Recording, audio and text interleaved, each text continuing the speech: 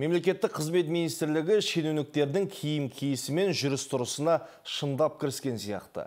Себебі қымбат костюм мен қолына Швейцария сағатын таға алмайтын енді қарапайым халыққа сіз деп сөйлеудің орнына байқамай сен десе де сотталып кетуі мүмкін.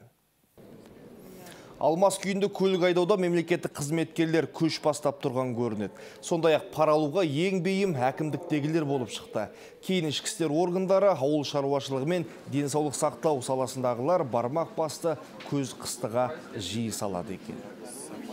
Управление автотранспортом в нетрезвом состоянии. Көлік жүргізетін шенеуніктерді жиі жазаға тартып жатырмыз. Тұрғындарға дөрекілік көрсетіп, өзін жоғары қоятын шенділер мен жұмыс уақытында орында отырмайтын 114 қызметкерге қатысты да ескертпе жарияладық.